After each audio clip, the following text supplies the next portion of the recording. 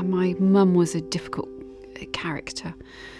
My dad would stay away most of the time just to get away from her. Um, I was quite scared of her. Um, it was like I couldn't do anything right. Yeah, I don't have any memories of her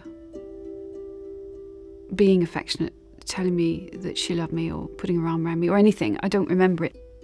She was she she never physically abused me. She was very much would get up close and shout, um, and she would have episodes of uh, extreme anger um, that was very scary. She had a close relative. He would visit the family home and be uh, sometimes stay, and he had access to me from very early on. He had a, a game that he would play, and he pre- he pretended that he had magic cream that he used to.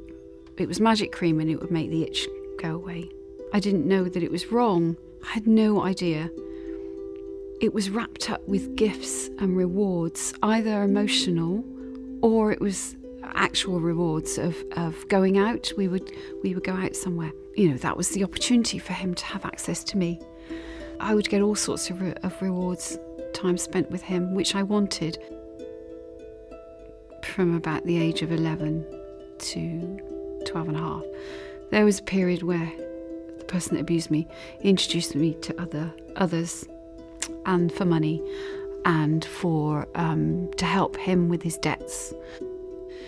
It's really hard for survivors to speak, and many take it to their grave.